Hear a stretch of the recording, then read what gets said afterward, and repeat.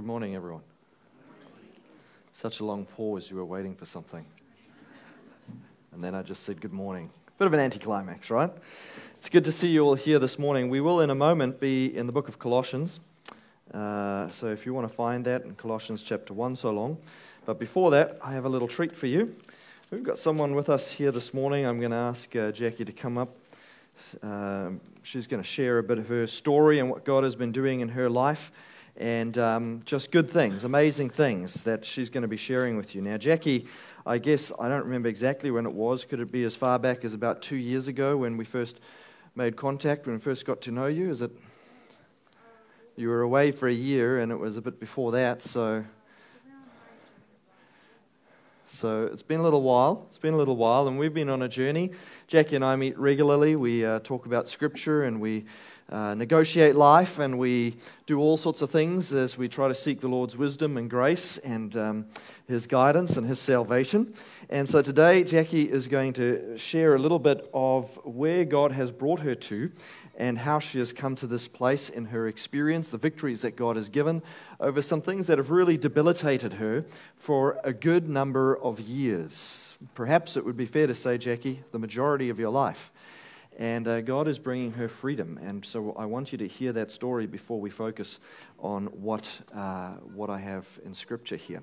The interesting thing is at the end of that testimony, uh, Jordan's going to play the guitar, Jackie's going to sing.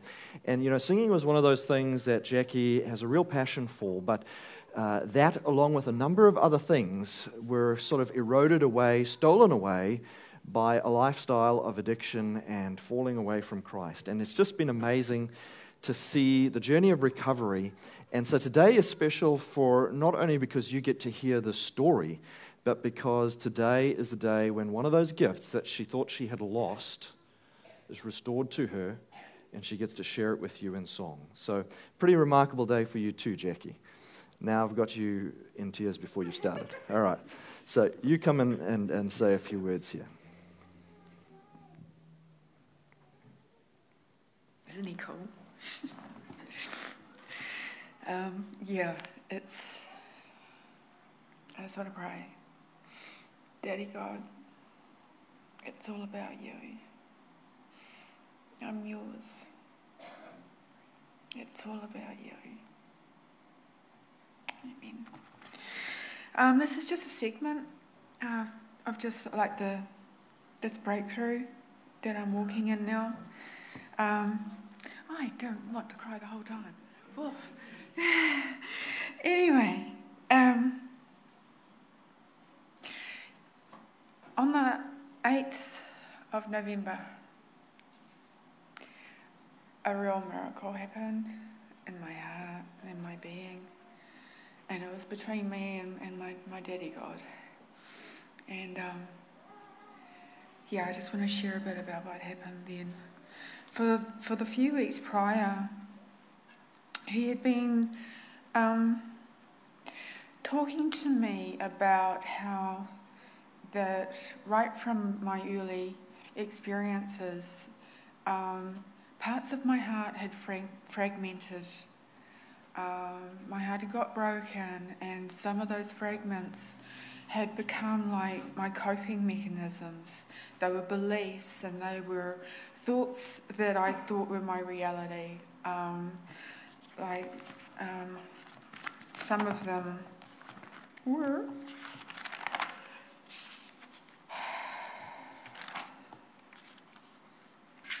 Sorry. Yeah, some of them were, were like, I. These are just stuff that I, I believed about myself. Bear with me, guys. Um,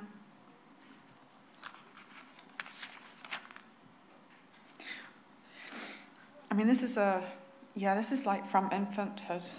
Um, but I believed that I wasn't wanted, that I was a burden, that I was resented, that I was easily forgotten, that I was easily overlooked and ignored, and that I shouldn't even be here. And, um, and in my struggle with my addiction with alcohol, um, particularly because um, I'd just done 52 weeks, 54 weeks, in a residential rehab in Paraparaumu. I got, I got back up north um, very end of August, early September. I got back to Whangarei. And, um, and much to my horror, I was even more of a mess than I'd been. uh, there'd been, like, God had done some amazing stuff, but um, I still couldn't do life, you know? And um, so, yeah. So he has shown me that these were actually like actual fragments of my heart and that they had a really strong voice. That when, as soon as I felt insecure, as soon as I felt um, disliked, as soon as I felt um, forgotten, um, as soon as I felt any particular emotional pain, this belief would stand up and, and, and, and speak louder than any beliefs I had in God. Oh, we have to drink because that's the only way we're going to cope. We have to make our world as small as possible because that's the only way we're going to be safe. And I would go on a bender for four or five days. I just wouldn't come out. I would, um, you know, the last seasons I had, um, it was my my cave was my mum's couch, and um, and so I would live on the couch and just drink and sleep. Um, Anyway, so he was showing me what that was actually about and what was actually happening in my heart and why. Why am I doing this? I mean, I know better. I know my being better. Why am I still choosing? Why is that so strong? Why is that still my go to? And, um, and he was really carefully and gently just bringing me into like, just acknowledging and realizing that they were really, they were beliefs that I had and they were stronger than, than my belief in Him. Um, anyway, um, one Wednesday morning on 7th of November, um, I woke up and I was just feeling so vulnerable and so raw. And I sent out a text to my, my people that um, support me and, um, and uh, call me friend. And um, and I just said, oh, look, I'm, I'm not in a good way and I'm not coping. Um, and I got some beautiful replies back, you know, and it's like everything just hit here, you know, drug uh, group, support group, and um, right at the very end of that group, one of my, my fellows just turned to me. I didn't even know he was a believer. He just turned to me and he said, You can do all things through Christ who strengthens you. And just got up and went out. And I was like, you know, wow, um, I know who that was from. And I, I went and I sat in my car and I struggled and I battled with me and I battled with the gentleness of, of, of what God was wanting me to understand that this pain wasn't overwhelming and that He had solution, He had resolution, He had healing. And, um, and he just, in that quietness, he also said to me, You know, if you do choose to drink today, you're calling me a liar, and that's your testimony. And I chose to drink that night. And the next morning I woke up and I was just horrified. Um, yeah, I was just horrified because I, I, I recognized that that was exactly what I had done that I had said that he, because he, in his promise, his promise is that he's healing me and that he's making me into this being that's been on his heart and been, he's had these daddy dreams, you know, and things that he's going to do with this life. And, um, and I just repented and I just said, You're not a liar. I'm not going to ever call you a liar again. I don't want to ever call you a liar again. And, um, and there was this, a shift changed then. Was something happened then, but I just I just got on my face and I said, "But what the heck is my problem? why why do I keep doing this? Why do I keep disbelieving you? I don't understand." And he reminded me that he'd been teaching me about the fragments of my heart. And, um, and I said, "Well." what do I do with them? You know, um, if they're the problem, what do I do with them? And he just said to me, just bring them to me. Acknowledge them, acknowledge what they've meant, and the role that they've played, um, and that they are valid. They were valid ways of coping, and just bring them to me. And I and I did, and I'm journaling the whole time. And I just I don't know what to do with these things, but I'm giving them to you. I'm just asking that your kindness will bring each and every part to repentance. And within my being, just this huge, like, three, 360 turnaround, just something really big changed. And I'm, I came into a sense and essence of being that I've never ever been before. And um, I feel very much, very much like um, Joseph when he, um, he declared to um, Potiphar's wife, I will not commit this great sin against my God, you know. And what I love about the breakthrough that God's brought um, is, is, He made it all about Him and me. He made it all about this.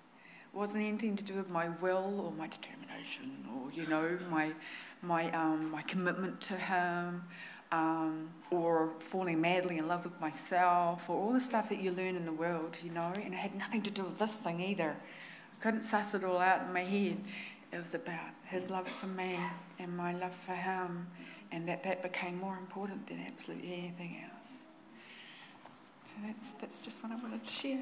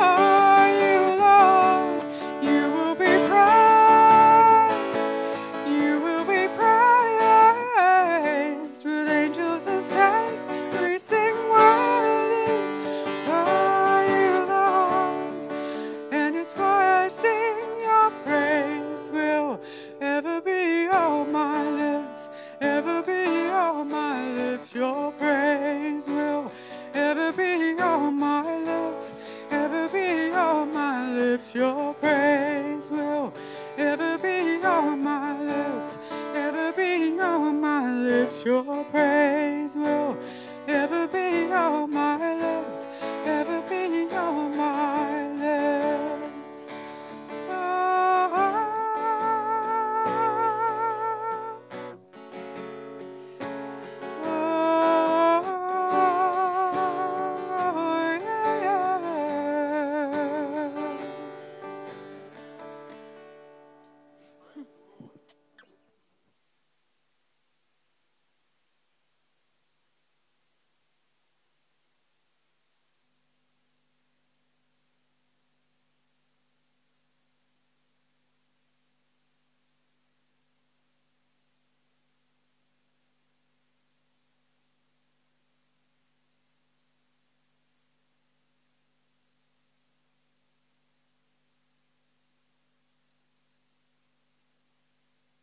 Father in heaven, we today rejoice and we celebrate what the work that you've done in Jackie's life. We thank you, Lord, that you have begun the process of restoring to her the things that sin and addiction and unbelief have stolen from her for far too many years. And we pray, Jesus, that your praise will indeed ever be on her lips and upon all of our lips. So, you, Lord, are a God who is worthy of praise. You have created and you have redeemed. And we pray for your blessing upon Jackie's life, upon this moment in time and this place of worship. For we pray this in Jesus' name. Amen. Thank you, Jackie, for having the courage to share, to be vulnerable, and to tell that story. Colossians chapter 1 is a powerful, powerful chapter. I find myself continually coming back to this chapter. Somehow, wherever I go in Scripture, I land up back here because it says so much about who God is and it says so much about who we are. And as you listen to that story of Jackie's, you would have realized that for so many years, she didn't know who she was. There were other voices telling her what she was, her unworthiness, her, the fact that she is a waste of space. And she chose for many years to listen to those voices rather than to listen to the voice of the God who laid down his life to say, You are not a waste of space, no matter how far you have fallen, no matter what you have gotten up to no matter what you've experienced at the hand of parents or community or in any other place, even in the church, you are not a waste of space. You are my child. You belong to me. I love you. Colossians chapter 1 has a very powerful way to bring that across. Now, did you know that here in New Zealand, identity theft costs the New Zealand economy every year approximately $209 million? Did you know that? To some larger or lesser extent, about 133,000 Kiwis every year have their identity stolen. Whether that's a credit card or some fraud in their name or some crime that's committed or whatever it is, 133,000 of a very small population, uh, that's, quite a, that's quite a significant number of us. It's, that, it's the kind of thing now which you can't say happens so sporadically that you don't need to be aware of it or you don't need to take precautions. And if you thought it was bad here, in the United States, there are approximately 16.7 million cases of identity theft in 2017 alone. 16.7 million. What's the population of New Zealand? Roughly 4 million, right? So that's uh, 4, 8, 12, about three and a half times our population of people whose identity gets stolen in the United States a year in 2017, and it costs their economy about $17 billion each year. That is a lot of money, isn't it? All because people want to take over your identity and do things in your name that you wouldn't do. They want to do things in your name so they can get away with it live the high life, whatever it might be, and it's going to come at your cost. Because when you start getting the collection agencies knocking on your door and you say to them, I think somebody stole my identity, they say, whatever, pay up. We have this desire to live the high life, to live the good life, whatever that might mean, at somebody else's expense. Right? That's the point of identity theft. So that I don't have to bear the consequences for my own choices, so that I don't have to pay back the debts I incur. It falls on somebody else's shoulders without them even knowing, without them giving their consent. A well known case of identity theft in the States, a guy by the name of Malcolm Byrd was arrested at his home in 2003 on possession or, or, or on charges of cocaine dealing. Turns out a criminal who had been arrested used his name. And the police later on came looking for the real Malcolm Byrd to pay the price for the activities of this criminal. A young boy, the age of 12, named Gabriel Jimenez, had his social security number stolen. How old did I say he was? 12. His mother, you see, got a letter from the Revenue Department in the United States saying that your son's taxes have been successfully filed. How old was he? He didn't have any income and he wasn't filing any taxes. And that was beginning, the beginning of a journey to find out that an illegal immigrant had stolen his social security number and his name and was transacting business in his name. A lady by the name of Linda Foley, her identity was stolen by Barry Nassell, she ran up large credit card debts, destroying Linda's credit rating. And for many years after that, Linda still had trouble trying to get a loan from a bank or a mortgage or a credit card because of something that was done in her name by somebody else masquerading as her. Identity theft is a kind of a new concept for us. It's like this new category of crime in this world. But did you know that it is really, although it's a modern trend, it is really a copy of the original sin? The original sin we're told about in Isaiah chapter 14 is where Lucifer decided it was no longer good enough to remain a created being, the first of creation, the highest of all creation. He wanted to be what Jesus was, he wanted to be what God was, and he decided that he was going to take the place of God. And so he launched a coup. You read about it in Revelation chapter 12. It speaks about war in heaven. And the, the outcome of that war, of course, was that Satan and his angels were removed from their place. They then came down to this world and sold us on exactly the same crime. Because when you read Genesis chapter 3, you'll discover that what Satan says to, uh, what Lucifer says to, to, to Eve in the Garden of Eden is, You will be like God.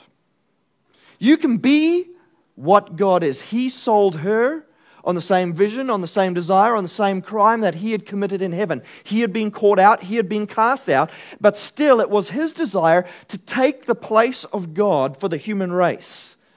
And Eve's choice to believe that lie meant that she attempted identity theft just as Satan did to be like God. She quickly discovered that it was a lie, as identity theft is. It's a lie. You are not that person. You are not them. You can never be God. And ever since then, humanity's problem has been this perpetual confusion of loyalty and of identity. Because when you are loyal to the wrong thing, it shapes the way you see yourself. Those two always go hand in hand confusion of loyalty and confusion of identity. Who you are is rooted in your understanding of where you come from of who you're connected to. Who is your family? Who is your mother? Who is your father? What is your heritage? Now, I'm talking for now on a horizontal level, right? On a merely cultural, on a merely, on a merely humanistic level, right? Where did you grow up? What city are you from? What music is your preference? What sort of a culture or subculture did you identify with? It's all rooted to your past. Your past radically shapes your future.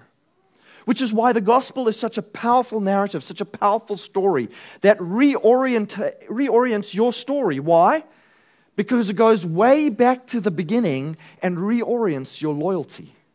It reminds you that you are not here by mistake. You have not come onto this earth through a result of, a, of chemical concoctions, of natural selection, and of chance. You are not here as a scientific experiment, something that just happened to be. You are here because you were brought into existence by a heavenly parent, by an intelligent designer, a creator who, in his mind's eye, saw you from the very beginning, way back in time, thousands of years back. You were brought into existence because you were a child that was wanted. You are a child that has a home, that has a family, that has a place of belonging. Your identity is rooted in the creation event. It's rooted in the Creator. It's rooted in the Sabbath experience because the very first day of human life is spent in the presence of the Creator on the Sabbath day when He chose not to rush off after the last day of creation on day six and go off with some other building project on some other part of the universe. No, He chose to stick around. That's why the Creator rested from His work the creator who doesn't get tired, who doesn't run out of energy, who is the source of life and of, and of strength and of all those good things. This creator rests in the presence of humanity, his children, birthed into existence for the joy of the parent, so that the parent can give himself to his children. This is why the Sabbath is so important to us. It's not merely a debate over days and, and what God says in Scripture. It's not merely about who's right, you know, is history and it's changed to Sunday or, or God's word, is it still valid in this day and age for the seventh day? It's not, it's not merely a debate over doctrine. It is because the Sabbath says something about who God is, about his heart for humanity, about your place in his family. He says, Come aside on the first full day of existence. Don't go off and work yourselves to death. Come into my presence. Relax and rest. It's a gift of grace to a human race that had not earned rest, did not deserve rest because they hadn't done anything. And God says, Come aside and rest in my presence because you exist for me. You exist because I love you, because I want you in my family, because you're important to me, because you're not a mistake. Your identity is rooted in the creation account, in the heart of the Creator, in the experience of the Sabbath day. It's why we still rest today, so that we will not get so far away from the Creator in all our busyness, in all the rat race of life, in all the pressures of life, in all the ambitions of life, the dreams, the aspirations, just the general mess that we call life. So we will not get too far away before we stop. Take a deep breath, exhale in the presence of the Savior, the Redeemer. And remember what we were beginning to forget because it was getting crowded out by the craziness of life in the 21st century. We rest to remember where we come from. We rest to be reminded that we matter. We rest because God has said, Come into my presence. The very first crime against God was the attempt to take his place, to steal his identity by a created being. It was the very first crime of the human race as well.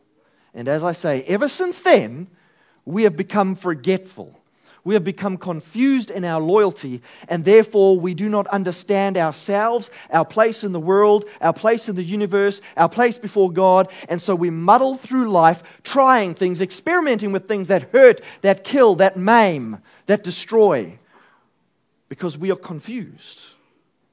And we're trying to find something that makes us matter some reason for existence, some pleasure that says, This is why we are here some grand goal to attain to, to aspire to.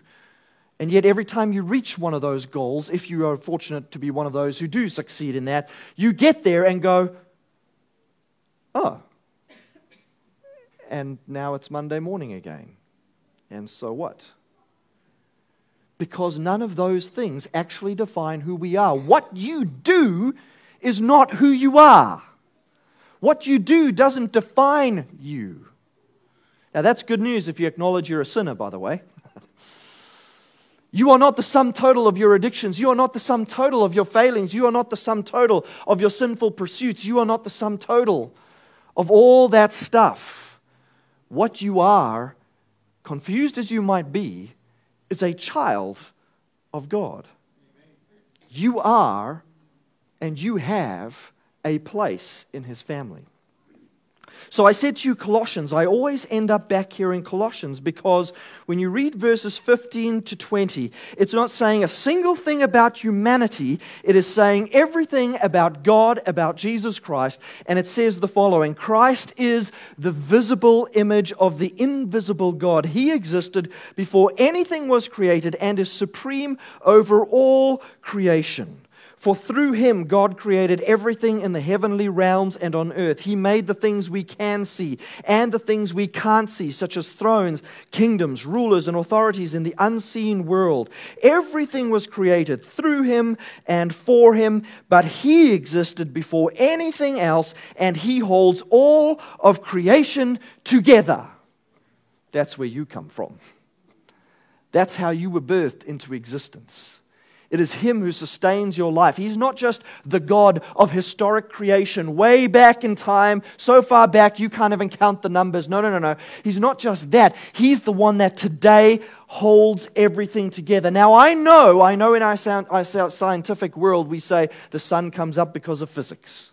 I know we say that, that, that, that, the planets spin and align and do their thing because of gravitational forces. Because every planet is just the right mass and just the right distance from every other planet for it to keep going indefinitely. And yet, I say to you, in a finely tuned universe like that, that wasn't, you know, eh, that, that is supposedly the result of an accidental explosion I ask you, how does a finely tuned universe continue to exist in such finely tuned balance if it isn't for the God who not only creates, but according to this verse, sustains everything in its balance? Yes, yes, there are natural laws, laws which He Himself put in place. And yet, we know that this Creator God has the ability to undo natural law because when you read Scripture, that's what he does all the time when it's called a miracle. you know, that's what a miracle is, right? It's the undoing of natural law, which the Creator has the power to do. The lawgiver is the one who's able to undo the laws that he chooses to temporarily for the blessing of his creation. Then it goes on to say in verse 18 Christ is also the head of the church, which is his body. He is the beginning, supreme over all who rise from the dead. Did you realize that earlier on in verse 15 in this translation it said supreme over all creation, right? There is no one like him because he is not created.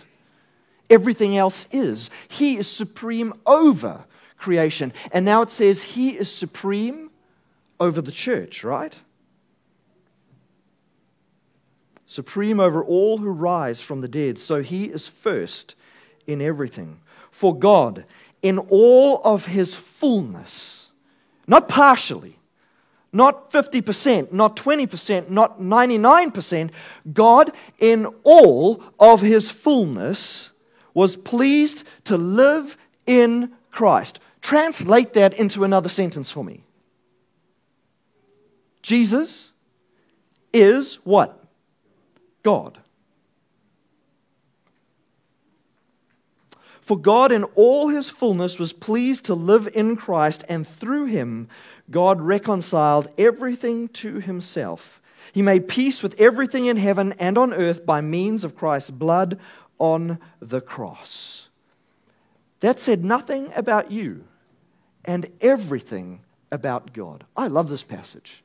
I just keep reading this passage again and again and again because in a broken world, in a world of identity theft, there is an enemy who's trying to usurp that place. There is an enemy who's trying to obfuscate this truth, who's trying to make it appear that everything in this world is not under the control of the supreme creator and redeemer. There is an enemy who's trying to make sure that the world is confused about who God is. If he can't stand in the place of God, he's going to make sure that as many as possible turn away from God, confused over his identity, his good intentions for the created world, confused over God's character. Because that's what identity thieves do. They leave the, they leave the real person in the muck. They leave the real person with the bad rap sheet, with the debt to pay. That's what's happening in our world today. So I come back to this passage, and it reminds me of who God is. It reminds me that what goes on in this world is not necessarily a reflection of God, not necessarily a reflection of His intentions, not necessarily a reflection of His heart. Because there is an enemy who's tried to steal His identity. Okay, now the part that comes to us. The therefore. If God is all of this, then therefore.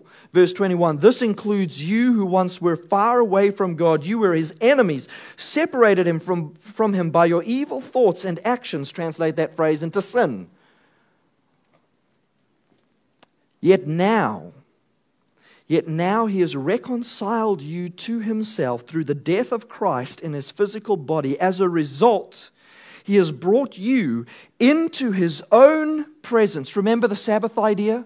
created and gifted with this, with this time, this gifted with this grace. Before we had done anything, before we needed rest, gifted with the presence of God, gifted with rest in the presence of the Creator God, which we forfeited through our, through our confusion of loyalty, our confusion of identity. But now, through Christ, this gift has been restored to us. We have been brought back into His presence, it says and you are holy and blameless as you stand before him without a single fault. Now, let me remind you, he's writing this to the believers at Colossian, at Colossae, at the city. He's writing this to a church which was not perfect a church which was not sinless, a church which was not yet triumphant. It was still the church militant, at war in this world, a church which was at war with influences outside of itself, trying to persecute Christianity out of existence, and a church which was at war with the principle of sin in their own beings. They themselves were sinners. And he says to them, he says to them, the supreme over all of creation, the supreme over all who rise from the dead or over the church, this being, this Jesus Christ, the one in whom the fullness of God resides. This one who laid down his life, who in his physical body paid the price, the penalty for sin, the penalty that you and I incurred when we try to steal his identity. He ended up having to pay that debt. The penalty that was incurred when his number one of created beings in heaven tried to steal his identity, that, that, that, that, that price that needed to be paid, he paid that price on the cross because it's always the victim of identity theft that's left with the bill to pay. And he paid the price in full on the cross so that you and I, the ones who were disloyal, the ones who bought the lie that we could be God as if, could be reconciled to the one from whom we try to take it. Now, I don't know if somebody stole my identity, I, I've got better plans for them than to be my friend.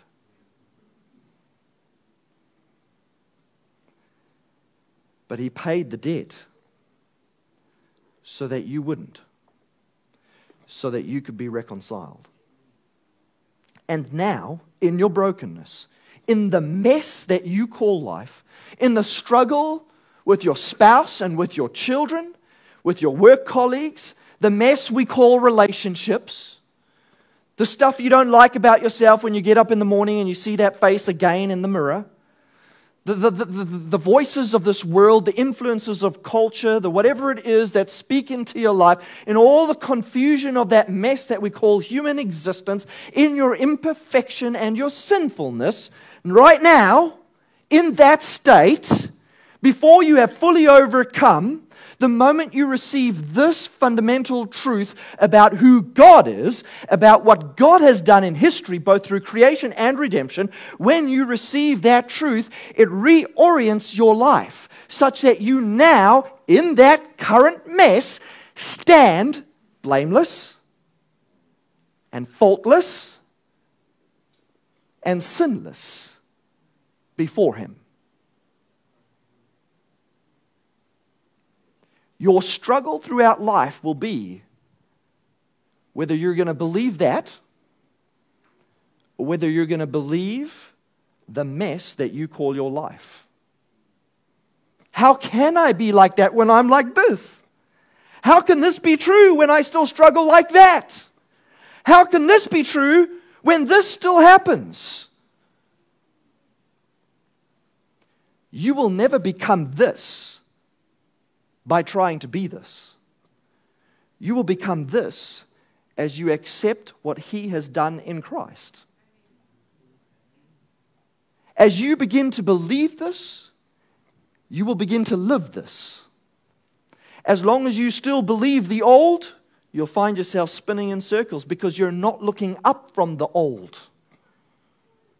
Jordan preached a sermon a little while ago where he told you about his experience with his brother learning to drive. And since then, I've put it to the test and found it's quite true. Where you look on the road is where you inevitably go. If you look into the lights of the oncoming vehicle at night, instead of avoiding them, you gravitate towards them. I don't recommend you try it.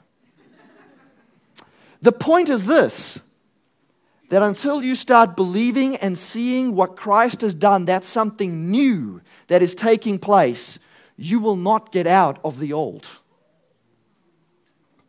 It's not about wishful thinking. It's not about if I just think happy thoughts, I will be happy. It's not like that at all. This is a historical reality. It's based in the fact of who God is and what God has done. This is not the power of positive thinking about yourself. No, it's believing a truth about who God is and what He has done for you and is doing in you. In other words, it's believing a truth, not just a dream that I hope will come to fruition. So let me read that again. Your identity. Your identity is that you have been brought into his own presence. You are holy and you are blameless as you stand before him without a single fault. And then he says in verse 23 But you must continue to believe this truth and stand firmly in it. Don't drift away from the assurance you received when you heard the good news. What's the implication if he's having to say that? The implication is found explicitly highlighted in chapter 2, verse 8, where he says, Don't let anyone capture you with empty philosophies, high sounding nonsense that come from human thinking and from spiritual powers of this world rather than from Christ. For in Christ, he always comes back to who God is. He always comes back to that. For in Christ lives all the fullness of God in a human body. So you also are complete through your union with Christ, who is the head over every ruler and authority. And when you go back just a few pages, one page in my Bible to Philippians chapter 3, verse 20, it says, We are citizens of heaven. Here's a question for you as a citizen of New Zealand, is it a privilege to be in this country or a right as a citizen? It's a right. No one can throw you out. We can put you in jail, but we can't throw you out. If I am a foreigner on a tourist visa, is it my right or my privilege? And if I break your laws, what happens? Yeah or maybe you'll give me uh, residency in jail, as has happened lately, right? but you hear what I'm saying, right? If you are a tourist, it means you don't belong. This is not your home. That is not the language of Scripture. You are a what? A citizen of heaven. This is your identity. You have a. Can we use that? I almost don't want to say it because I don't feel worthy of it. I have a right to heaven. Why? Because my debt was paid. Because Jesus Christ took my place on the cross. I am not a visitor, not a tourist, but a citizen of heaven. We are citizens of heaven where the Lord Jesus Christ lives, and we are eagerly waiting for him to return as our Savior. He will take our weak mortal bodies and change them into glorious bodies like his own, using the same power with which he will bring everything under his control.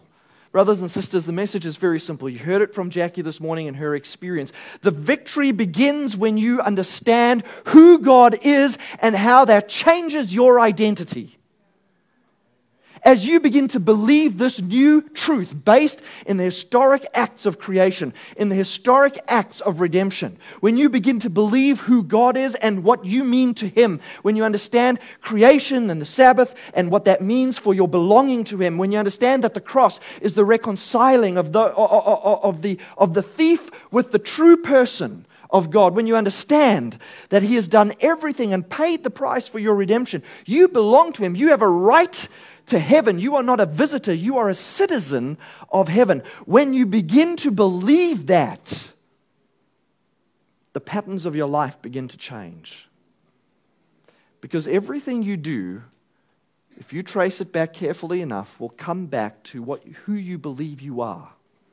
What do you think your rights and entitlements are in this life? And unfortunately, because of sin, our loyalty has become confused which has resulted in our identities becoming confused. Our rights and our entitlements are all messed up in our head. And so we go to war over carnal things, thinking that this world is what it's about. My position, my place, my pride, my this, my that, my you're stepping on my stones, you're in my space, you're in my territory. We don't live for this world. We don't live for this life. You are citizens of heaven. Your identity is bound up in who God is and what He has done for you. In order to live a new life, you need a new vision. And that vision is found in God and in what He has done. So let's sing a song as we close. It's called What a Fellowship, What a Joy Divine. And I think you can understand, and as you from the title, and you'll understand as you sing these words, well known song, that this is what we're singing about. Our relational restoration to God, being brought back into his family, being restored to his favor, becoming citizens entitled to the gift of life and of heaven.